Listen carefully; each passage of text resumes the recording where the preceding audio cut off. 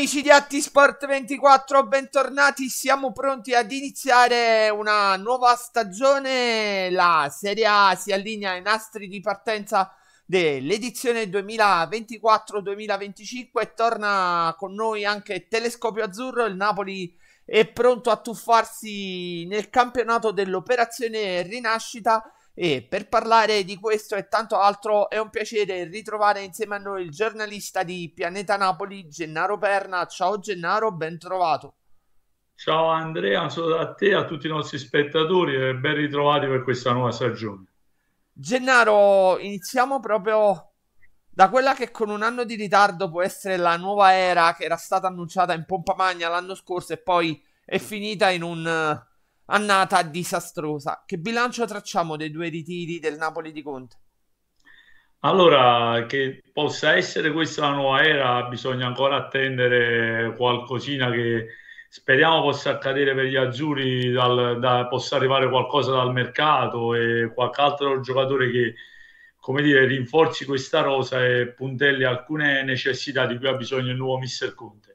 Per quanto riguarda i due ritiri, il primo ritiro, quello di Dimaro, è stato un ritiro molto, diciamo, focalizzato sulla preparazione atletica, molto dura, molto forte, che Conte solitamente fa per le proprie squadre. Per quanto riguarda quella di Castel di Sangro, di fatto un tentativo di inserire, tra virgolette, nuovi arrivi, oppure coloro che sono tornati, diciamo, dalle, dalle avventure della, delle nazionali, che però al momento non danno come dire, garanzie, nel senso che la preparazione atletica svolta a Dimar è una preparazione atletica fatta su uomini che potrebbero essere, tra virgolette, di seconda fascia rispetto a, ai potenziali titolari.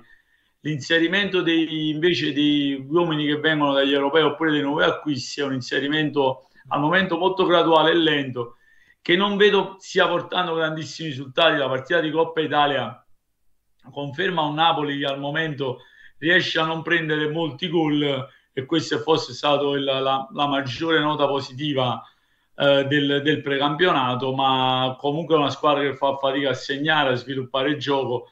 Quindi se questo dovesse essere il Napoli, eh, questa è una squadra che ha ancora grandissimi limiti e grandissimi margini di miglioramento. Sui ritiri non si può dire altro che Conte si è impegnato, ha fatto impegnare i suoi e quindi la, dire, le sensazioni lato, lato allenatore e lato staff tecnico sono delle sensazioni buone, però mancano ancora i giocatori. E allora ti chiedo in che misura un organico non ancora completo penalizza il lavoro del condottiero leccese tecnico che poi è abituato ad imprimere nei suoi atleti una mentalità ben chiara, un'identità di gioco definita e un gioco che è proprio codificato situazione per situazione.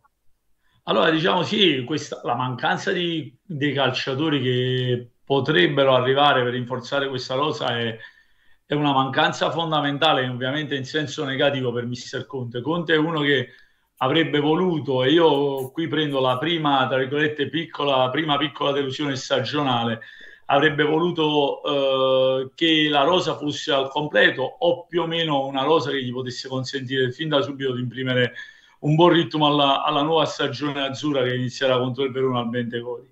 Però, come dire, l'assenza di questi calciatori limita, limita tantissimo Conte che ha provato a fare degli esperimenti, a capire chi potesse essere un'eventuale prima punta nella prima giornata, ad esempio, piuttosto che i quinti di difesa che, ogni, che cambiano. Lui ha fatto anche lì degli esperimenti, anche nel terzetto difensivo che sembra essere quello più completo, lui ha ancora molti dubbi. Quindi eh, da questo punto di vista il Napoli ha lavorato male in questo precampionato, ha lavorato male nel senso non dell'impegno, ma della mancanza di giocatori che potessero dare delle garanzie nella prima giornata. Quindi per rispondere alla tua domanda, queste assenze e queste pedine che ancora mancano e questo ritardo sul mercato, secondo me potrebbe, mi auguro di no, incidere sulla partenza del Napoli di Conte. E un altro elemento che io credo sia fondamentale è quello psicologico perché nove acquisti a parte, questa è una squadra che è passata dal trionfo dello scudetto alla virgolettato depressione dello scorso anno. Quanto tempo impiegherà Conte con il suo staff a cancellare i retaggi psicologici di una squadra che soprattutto nel finale dello scorso anno faticava ad esprimere anche un'idea minima di gioco? Allora Andrea, qui questa domanda è una bellissima domanda, anche abbastanza, tra virgolette, complessa. Secondo me queste, queste situazioni si risolvono in due modi. O eliminando dalla rosa, eh, ovviamente calcisticamente parlando, quindi vendendo i calciatori che hanno reso meno e che non sono riusciti a fare quel salto di qualità mentale nella, nella scorsa stagione, eh, dove hanno perso il loro condottiero Spalletti, quindi sono dei ragazzi che hanno dimostrato di non avere quella forza psicologica e quel, di essere in grado di fare quel salto di qualità. Quindi questi calciatori o li eh, vendi sostanzialmente o provi con, con, un allenatore forte come Conte a, a convertirli a, a dire, alla nuova idea mentale dal loro punto di vista. Io sono un po' scettico, nel senso che per me un calciatore se è forte l'avrebbe dovuto dimostrare anche senza Spalletti, non c'è bisogno una della Balia Conte per farli ripartire, tra virgolette. Quindi io sarei sempre per ripulire quanto più è possibile questo spogliatoio che ha vinto lo scudetto e ha perso malamente, è arrivata decima malamente la scorsa stagione. Quindi è un compito arduo questo di Conte. Anche in quest'ottica c'è bisogno di nuovi acquisti che possano levare delle responsabilità a coloro che hanno dimostrato di non reggere il peso dello scudetto vinto e eh, consentire poi di vendere e reintegrare bene la rosa e amalgamarla nel modo giusto. Assolutamente, nel, mentre però si parte, c'è l'esordio in campionato, si riparte tra virgolette da un incrocio che scaramanticamente ha portato bene, è stato l'inizio della cavalcata scudetto, si va al Bentegodi contro il Verona del nuovo tecnico Paolo Zanetti, che partita ci aspettiamo? Allora, su questo io la scaramanzia sinceramente credo poco, credo molto nel lavoro, quindi nell'organizzazione di gioco. E io ti dico che Zanetti è un allenatore che solitamente ha bisogno di un po' di tempo per uh, imprimere le proprie idee tattiche, perché è un allenatore che prova a giocare al calcio, come piace dire, come piace dire a me. Quindi è una squadra, anche quella del Verona, che mi pare sia stata eliminata dal Cesena in Coppa Italia, che è in costruzione. Quindi vedremo, c'è un'incognita, ti ripeto, perché il Napoli è una squadra solida, ma fa fatica a, a fare gol quindi se non segni non vinci le partite. Eh, quindi è una partita difficile, un campo ostico, seppur scaramanticamente ci ha portato negli ultimi anni qualche soddisfazione, però è una partita complicata. Il Napoli ha un solo obbligo, quello di, di dover vincere per poter partire bene, altrimenti si aprirebbero anche tante, giustamente, potrei dire, anche delle chiacchiere, delle argomentazioni che potrebbero essere deleterie per il Napoli di Conte stesso. Chiudiamo con l'ultima battuta, dove si può decidere questo match, dov'è che il Napoli può fare la differenza?